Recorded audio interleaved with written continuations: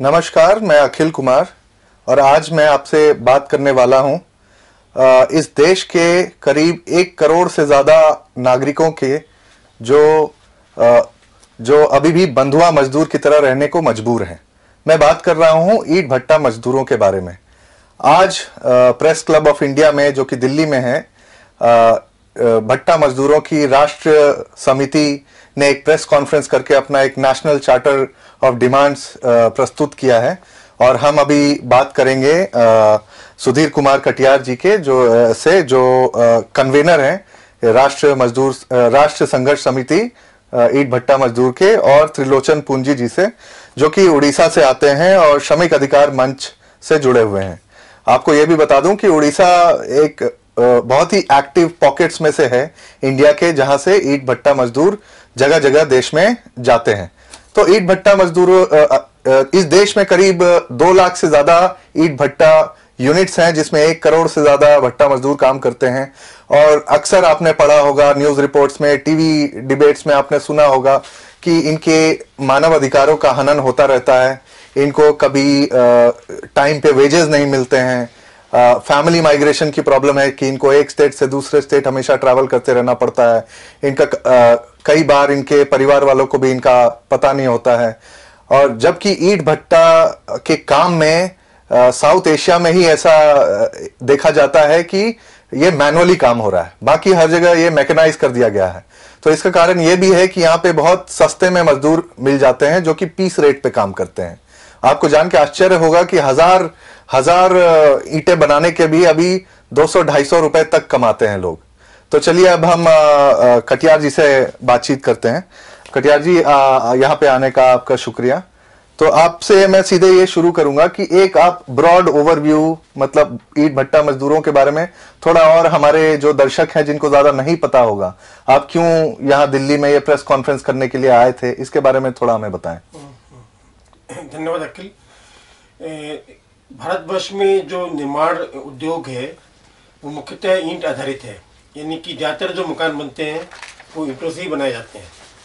जो पुराने पारंपरिक मकान बनाने के सोर्सेज थे, जैसे कि लकड़ी, पत्थर, उसकी जगह भी धीरे धीरे ईंटों का प्रचलन बढ़ रहा है, क्योंकि ईंटें ईंटों से मकान बनना आसान है। ये बहुत आश्चर्य की बात है कि लगभग ये सारी ईंटें जो हैं, वो अभी भी हाथ से बनाई जाती हैं। तो आप सोच सकते हैं कि इतनी सारी ईंटों बनाने के लिए पूरे देश में निर्माण में ईंटों को सप्लाई करने के लिए इतनी बड़ी श्रम शक्ति की ज़रूरत पड़ती है। और ये सारी की सारी श्रम शक्ति जो है, लगभग जो संख्या है, हमारा आकलन है, ये केवल का आकलन ही है, लगभग एक करोड़ से ऊपर जो मजदूर है, वो इन भट्टों बनाने के काम में लगे हुए हैं।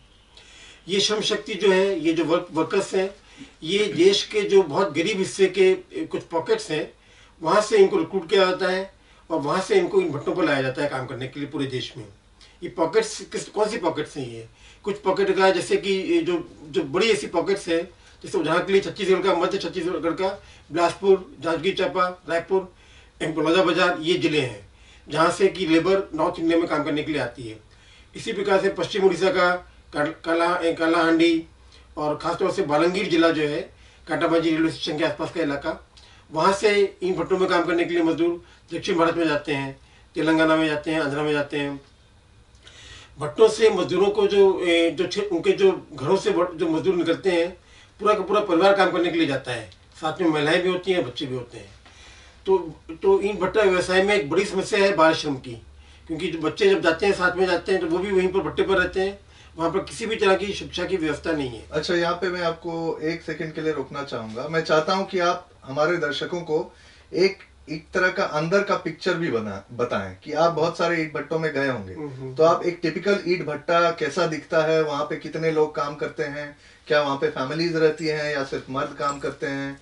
उनको कितना पैसा दिन का मिलता है? एक ये मोटा मोटा अंदाज़ा हमें आप प्लीज़ दें। हम्म, हम्म।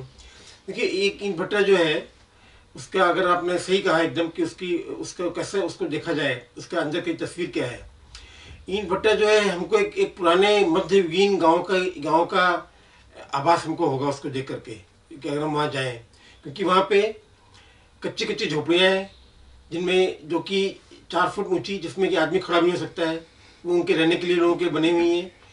वहीं पर उनमें उनमें पूरा परिवार रह रहा है, बच्चे वहीं पर, ईंटें वहीं पर उसके झोपड़ी के सामने, पसार में कच्ची ईंटें लोग अपने हाथों से बना रहे हैं।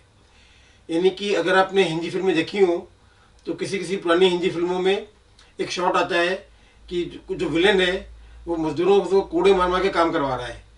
तो वही परिस्थिति इन भट्टों की है। फ़र्क बस यही है कि कूड़े मारने वाला विलेन वहाँ पर नहीं है क्योंकि उसकी ज़रूरत नहीं है। वो जो सिस्टम ऐसा बना हुआ है बॉन्डेड लेबर का कि ये मजदूर एडवांस लेके आए हुए हैं और रात दिन वो खुद ही काम कर रहे हैं।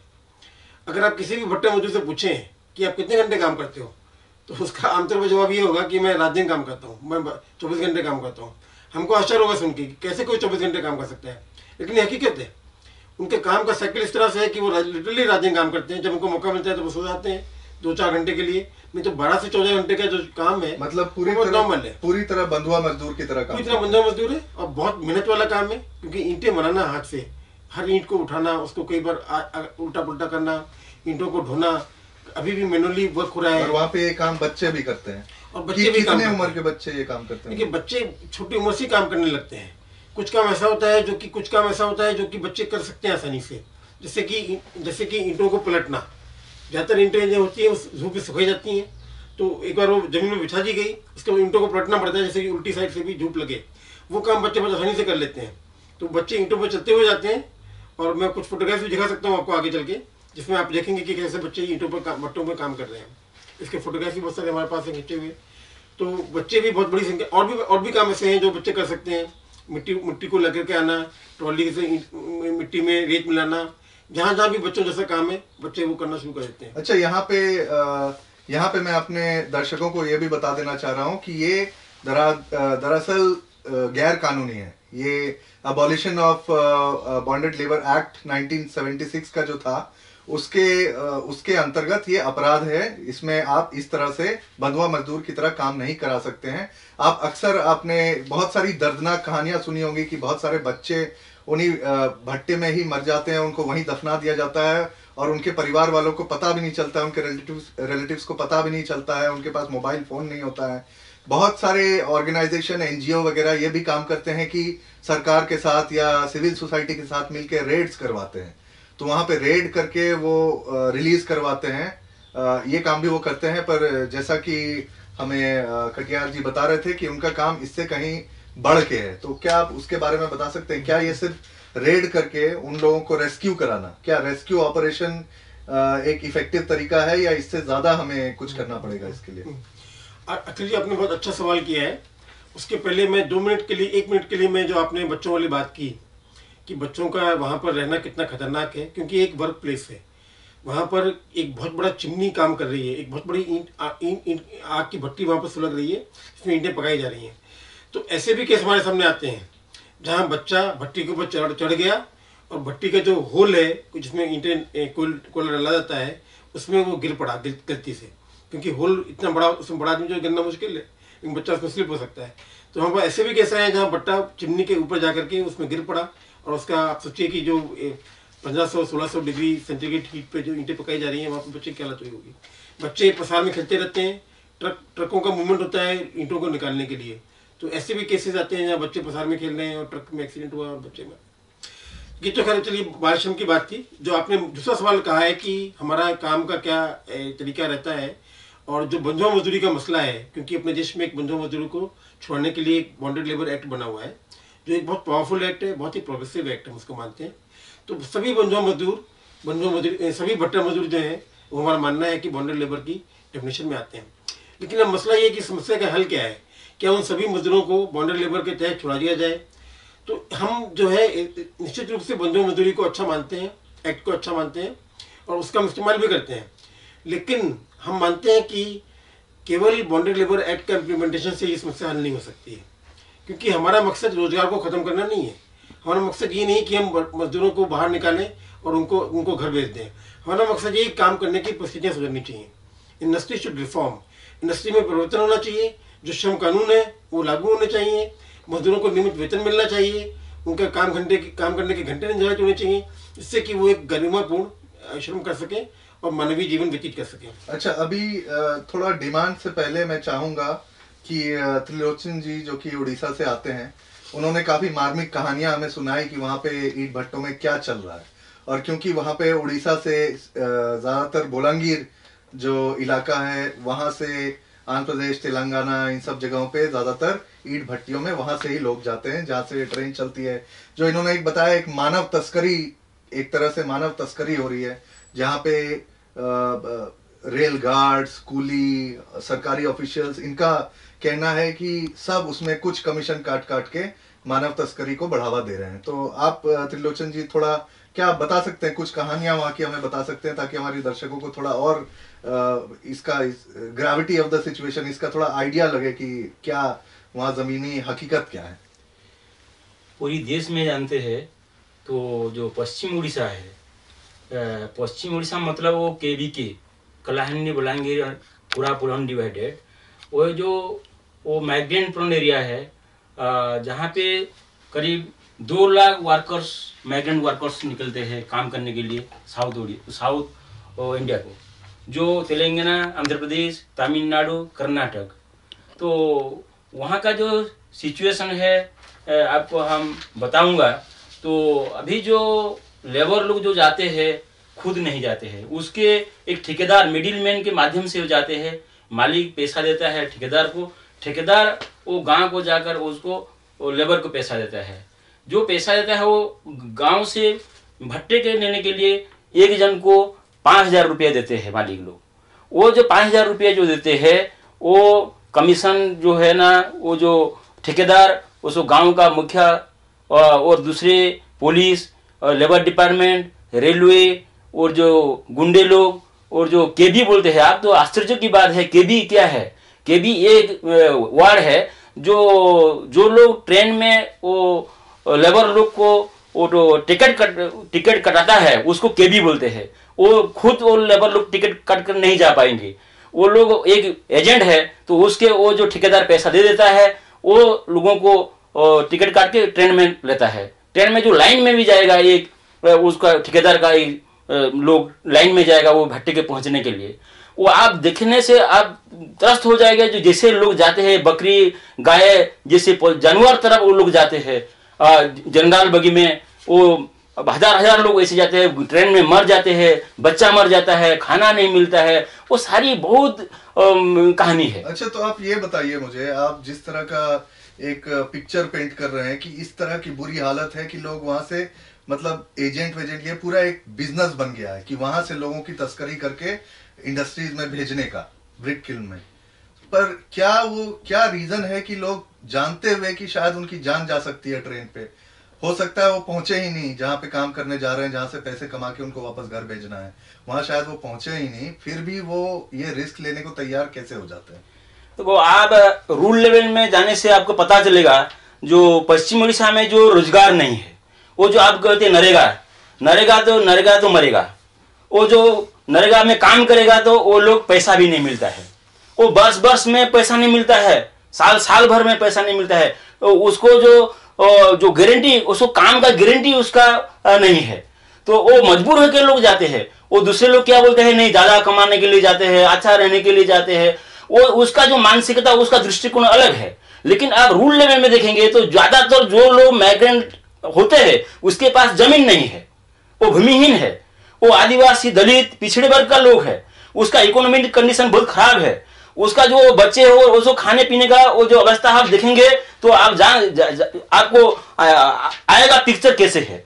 तो और ये है आप जानते हुए मैं एक एक ही बात रखता हूँ 2012 में जो नीलांबर धंगड़ा माझी और दयानुलाल का जो हाथ काट दिया ठेकेदार ने तो इसके बाद कहाँ पे हुआ ये? वो जो खड़ियार के पास जो है वो जो जयपान्ना उसका घर है जयपान्ना ब्लॉक कलाहंडी का।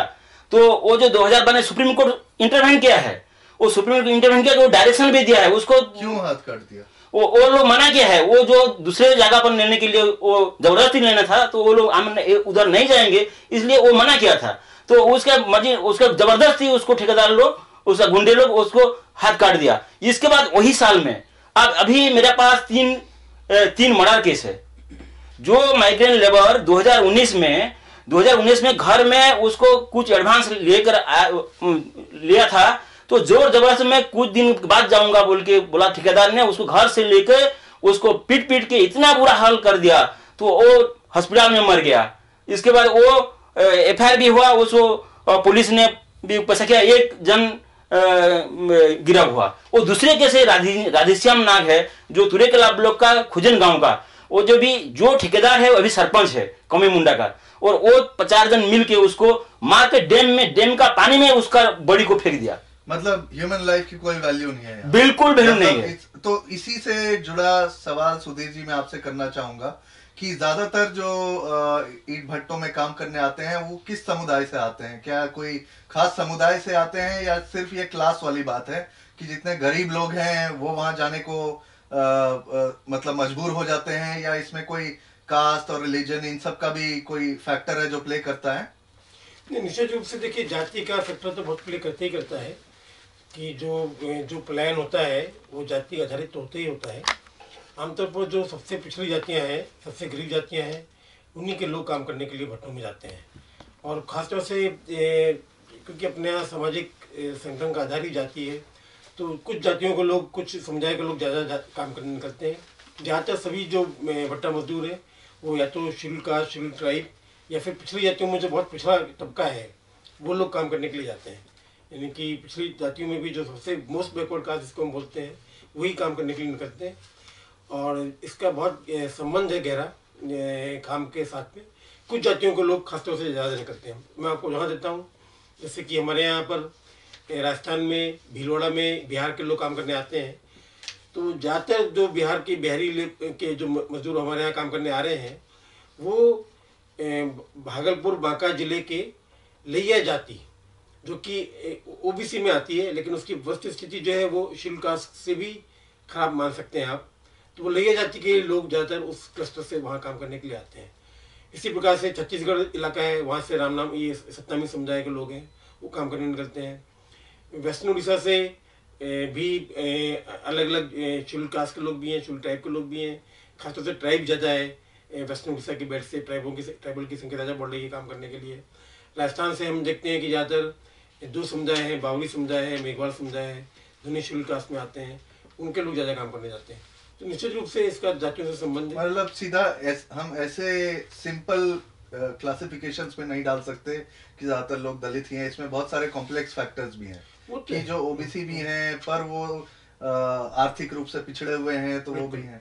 तो एक इससे पहले कि मैं चाहता हूँ कि आप अपना जो चार्टर ऑफ़ डिमांड्स था वो आप थोड़ा विस्तार में हमें एक्सप्लेन करें पर उससे पहले एक आखिरी सवाल मैं करना चाहता हूँ। कि ये जो intergenerational transfer of poverty and bondage. कि पीढ़ी दर पीढ़ी किस तरह से उनकी गरीबी ट्रांसफ़र होती जाती है कि एक ईट भट्टी में अगर एक परिवार रहता है तो उसके माँ बाप ने अगर वही काम किया है तो बच्चे पे वो ट्रांसफ़र हो जाता है। उनका सारा डेट भी ट्रांसफ़र हो जाता है जो कर्ज है वो भी ट्रांसफ़र हो जाता है और उनका बॉन्डेज भी ट्रांसफ़र हो जाता है। तो उसके बारे में प्लीज़ थोड़ा विस्तार से बताएँ। बिल्कुल बिल्कुल। देखिए ये हमने बार बार इस बात को उठाते रहे कि इन भट्टों मजदूरों में ये पीढ़ी दर पीढ़ी गरीबी का, बंधुमतपन का हस्तांतरण है। लेकिन ये पहले के जैसा हस्तांतरण नहीं है। ये इसको हम बोलते हैं new new form of bondage ये जो पुराना, जो क्लासिकल बॉन्डेज था कि एक जमींदार था, उसका एक बंधु मजदूर है, वो पीढ़ी दर पीढ़ी काम कर रहा है। ऐसा नहीं है, ऐसा नहीं है। भट्टा मलिक बदलता रहता है, सुधारी बदलता रहता है, लेकिन व्यवस्था नहीं बदलती है। व्यवस्था वही रहती है मजदूर को फिर हर साल एडवांस लेना पड़ता है हर साल वो एडवांस लेके जाता है काम करने वापस आता है अगले साल फिर जाता है काम करने के लिए। तो सिस्टम वही it's systemic systemic bondage not not a feudal type not bondage to one particular person one particular employ तो उसमें ए, उसका सीधा कारण ये है कि फैमिली माइग्रेशन है। पूरा फैमिली माइग्रेट करता है बच्चे भी साथ में आते हैं। तो बच्चे के पास कोई मौका नहीं है अवसर नहीं है कि वो वहाँ पर कुछ पढ़ से लिख सके सीख सके। मजदूर पूरी कोशिश करते हैं कि बच्चों को नहीं ले जाएँ। तो कई बार हमारे सामने ऐसे उदाहरण आते हैं कि मजदूर जो है अपने बड़े बच्चे को घर छोड़ के आते हैं कि वो पढ़ाई करे। लेकिन आप खुद सोच सकते हैं कि अगर पूरा परिवार बाहर चला गया छः महीने के लिए, आठ महीने के लिए, गाँव के हालात में, जहाँ वैसे भी शिक्षा व्यवस्था बहुत डावाडोल है, सरकारी विद्यालयों में पढ़ाई नहीं होती है, टीचर्स पढ़ाते नहीं है तो बच्चे कब तक वहाँ पर अकेले रह पाएँगे? तो बहुत बड़े उदाहरण हमारे सामने ऐसे आते हैं। आज हमारी प्रेस कॉन्फ्रेंस में भी जो हमने दिल्ली में की, वहाँ पर हम ऐसे ही उदाहरण को लेकर के आए, छत्तीसगढ़ से, मनहर हमारे साथी थे। जो कि पठानकोट में मजदूरी करते हैं, छत्तीसगढ़ के रहने वाले हैं। उन, शुरुआत में वो चौथी क्लास तक वो अपने गाँव में रह के पढ़े, अपने दादा के पास। उनके दादा भी मजदूर थे भट्टों में मजदूर थे, उनके पिताजी भी मजदूर थे, अब वो खुद भी मजदूरी कर रहे हैं। चौथी क्लास तक उन्होंने गाँव में रह के पढ़ाई की, फिर उनके दादाजी के, दादाजी का निधन हो गया तो फिर गाँव में कोई सहारा नहीं बचा। उनको मजबूरी में अपने पिताजी के साथ जाना पड़ा। और एक बार आप भट्टों में जाएँगे तो फिर आप वही काम सीखेंगे, आपको कुछ और काम भी नहीं आता है करने के लिए। और उसी उसी क्रम में आप ढल जाएँगे। तो इस तरीके से पीढ़ी दर पीढ़ी जो है भट्टा मजदूरों में ये ए, ए, गरीबी का और बंधोपन का हस्तांतरण होता है। कोई दूसरा ऑप्शन नहीं है लोगों के पास कुछ और वहाँ उससे निकल के कुछ और काम करने के लिए। ठीक है मुझे लगता है कि हम लोगों ने बहुत विस्तार में मुद्दों के बारे में तो बात कर ली पर मैं चाह रहा हूँ कि आपका जो चार्टर था जिसके लिए आप प्रेस कॉन्फ्रेंस करने आए थे जी। अगर आप संक्षिप्त में मतलब दो मिनट में अगर सिंपल शब्दों में अगर हमारे दर्शकों को बता सके कि ब्रॉडली क्या ठोस पॉइंट्स हैं जो डिमांड्स है आपके? लोकसभा चुनाव आ रहे हैं अभी। तो आप चाहेंगे कि जो भी पावर में आए वो इन सब चीज़ों पे ध्यान दे। अलग अलग अलग अलग सेक्टर से जैसे हेल्थ केयर एजुकेशन इन सबसे सबने अपना चार्टर निकाला है। मुझे लगता है कि अ, अ, हम लोग क्योंकि लेबर को बहुत एक्टिवली कवर करते तो हमें लगता है ये भी उतना ही इम्पोर्टेंट है। तो प्लीज़ आप थोड़ा दो मिनट में बता दें। देखिए सबसे पहला जो मुख्य हमारी मांग है चार्टर में वो है भर्ती को लेकर के। क्योंकि हम ये मानते हैं कि इन्फॉर्मल सेक्टर में, खासतौर से इन भट्टों में, जो समस्या की जो जड़ है, वो ये है कि जो उनका जो रिक्रूटमेंट हो रहा है, भर्ती हो रहा है, उसका सिस्टम क्या है? अभी ये सिस्टम पूरा का पूरा निजी ठेकेदारों के ऊपर आधारित है। निजी ठेकेदार एडवांस लेकर मजदूर की भर्ती करता है और उसको काम करने आगे भेजता है। तो वहीं से बंधुआ लेबर की बॉन्डेड लेबर की शुरुआत होती है। हम इस सिस्टम को खत्म करना चाहते हैं। हमारा मानना है कि निजी ठेकेदारों को खत्म किया जाना चाहिए और गवर्नमेंट को लेबर के रिक्रूटमेंट के लिए भर्ती के लिए एक ट्रांसपेरेंट यूनिवर्सल सिस्टम डेवलप करना चाहिए। मैं आपको उदाहरण देता हूँ जो कुछ लोगों को शायद गल, गलत लगे। एग्रीकल्चर कमोडिटीज को की मार्केटिंग के लिए गवर्नमेंट ने कृषि मंडियाँ बनाई हुई हैं जहाँ पर एग्रीकल्चर कम्युनिटी आती है वहाँ पर व्यापारी आते हैं और वो एक एक वेस्टेड एक मार्केट है एग्रीकल्चर कम्युनिटीज़ का। लेबर का कोई ऐसा कोई मार्केट नहीं है। लेबर का मार्केट कम्प्लीटली इनफॉर्मल है। उसकी कोई जगह नहीं है। हम चाहते हैं कि गवर्नमेंट एक ट्रांसपेरेंट लेबर मार्केट क्रिएट करे। जो जो कोई हवाई कल्पना नहीं है, कोई बहुत आइडियलिस्टिक बात नहीं है, ऐसा इस देश में कहीं कहीं पर हुआ है। खासतौर से हम जब मॉडल की बात कर रहे हैं, हम महाराष्ट्र में जो मठाडी एक्ट है, जो वहाँ की सरकार ने बनाया है, और हिमालयों के काम को रेगुलेट करता है, हिमालय नहीं, भुजा ढोने वाले। महाराष्ट्र में भुजा ढोने वाला हर व्यक्ति जो है, वो हिमालय, मठाडी बोर्ड का मेंबर होना उसको ज़रूरी है, कानून के तहत। तो उस तरह का ही एक्ट हम इन भट्टों के लिए चाहते हैं। यानी कि गवर्नमेंट जो है, वो रिक्रूटमेंट को रेगुलेट करे। किसी भी मालिक को अगर वर्कर चाहिए तो वो उस बोर्ड के पास जाए, जो गवर्नमेंट ने बनाया है, और जिस जिस मजदूर को काम चाहिए, वो बोर्ड में पंजीयन कराए। उसके द्वारा वो ट्राइपार्टाइट बोर्ड हो, जिसमें मजदूर भी शामिल हो, मालिक भी शामिल हो एम्प्लॉयज़ भी शामिल हो, और वर्कर्स भी शामिल हो, और गवर्नमेंट भी शामिल हो। ट्राइपार्टाइट बोर्ड बने मठाडी बोर्ड की तर्ज पर, वो इसको रेगुलेट करे। उसको हम समझते हैं कि वो एक समस्या का परमानेंट और लॉन्ग टर्म सॉल्यूशन हो सकता है। वो बोर्ड जब बनेगा तो बोर्ड हर तरह की फैसिलिटीज़ भी प्रोवाइड करेगा सोशल सिक्योरिटी भी दे पाएगा, हर एक का पंजीयन होगा, मालूम रहेगा कि कौन मजदूर आया, कौन कहाँ पर गया काम करने के लिए। वो हमारा फोरमोस्ट डिमांड है कि इस तरह का बोर्ड बनना चाहिए और गवर्नमेंट को इसके लिए कानून बनाना पड़ेगा, जैसा कि महाराष्ट्र में कानून बना हुआ है। इसके अलावा जब तक ये बोर्ड नहीं बनता है, जब तक ये सब चीज़ें नहीं हो पाती हैं, हमारी वेजेस को लेकर बहुत बड़ी डिमांड है। अभी क्या है कि पूरा का पूरा भट्टों में piece rate system of payment है। यानी कि जितनी ईटें आप बनाएँगे, उतना आप पैसा पाएँगे।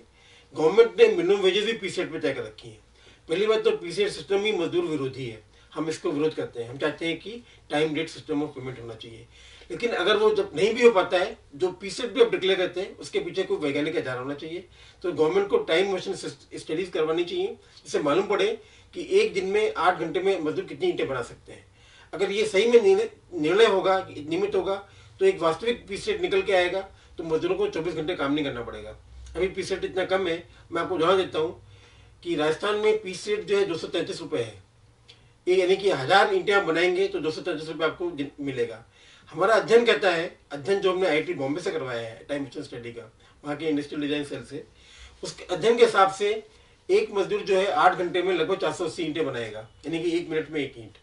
तो आप सोचिए कि दो सौ तैंतीस रुपये हज़ार ईंटें बनाने के लिए उस मजदूर को सोलह घंटे काम करना, सोलह घंटे से ज़्यादा काम करना पड़ेगा। तब जाकर के वो हज़ार घंटे बना पाएगा, उसको दो सौ तैंतीस रुपये मिलेगा। इतना कम पीस रेट है। अगर वो आठ घंटे काम करेगा तो उसको केवल एक सौ सोलह रुपये रेट मिलेगा।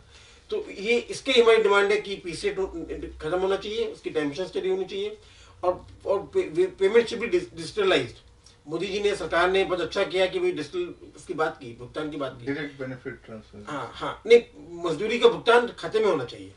मजदूरी का भुगतान कैश में ना होकर के खाते में मजदूरी का भुगतान किया जाए जिससे कि इसकी पकड़ रहे कि किसको क्या सुविधा मिल रही है। तीसरा हमारा जो बड़ी मांग है वो ये है कि प्रत्येक मजदूर का सोशल सिक्योरिटी के तहत पीएफ अकाउंट में खाता खुलना चाहिए। पीएफ में उनका खाता होना चाहिए और अभी भी कानून ये कहता है कि हर मजदूर को पीएफ में उसका बेनिफिशियरी होना चाहिए लेकिन वो किसी भी बट्टा मजदूर को पीएफ नहीं मिल रहा है। तो सभी मजदूरों का खाता खोला जाए कहीं भी हो जाए उसके पास बुढ़ापे के लिए सोशल सिक्योरिटी रहे। ये तीन हमारी मुख्य मांगे हैं इसके अलावा और बहुत सारी मांगे हैं जो हमने इसके अंदर लिस्ट की हुई है। पर वो तो हमने कवर कर लिया है। ज़्यादातर डिस्कशन बिल्कुल बिल्कुल बिल्कुल बिल्कुल बिल्कुल। तो ठीक है सुधीर कटियार जी और त्रिलोचन जी आप दोनों का वायर में आने के लिए बहुत बहुत धन्यवाद। मैं हमारे दर्शकों से अ, ये भी मैं अपने दर्शकों को बता देना चाह रहा हूँ कि हम एक सीरीज़ कर रहे हैं चुनाव पे आधारित सड़क से संसद करके जिसमें हम देश के बहुत सारे कॉन्स्टिट्यूंसी में जाके हर एक स्टेट में हम हमारा यही एम है कि सारे स्टेट में जाके कुछ कॉन्स्टिट्यूंसी में जाके वहाँ के लोगों के रियल इश्यूज़ को उठाएँ। मतलब हम रैलीज कवर नहीं करेंगे हम नेताओं के पीछे नहीं भागेंगे हम वहाँ के रियल इश्यूज़ को लेके जाएँगे। मैं ये इसलिए अभी बता रहा हूँ क्योंकि हमारी सड़क से संसद की गाड़ी बोलंगीर जहाँ से त्रिलोचन जी हैं जो ये बंधुआ मजदूरी की बात कर रहे हैं बोलंगीर भी जाएगी वहाँ से हम आपको एक स्पेशल स्टोरी फिर से लेके आएँगे तो आप सड़क से संसद पे भी सब सब्सक्राइब करें। अ, ये वीडियो डिस्कशन देखने के लिए आपका धन्यवाद। धन्यवाद अखिल जी।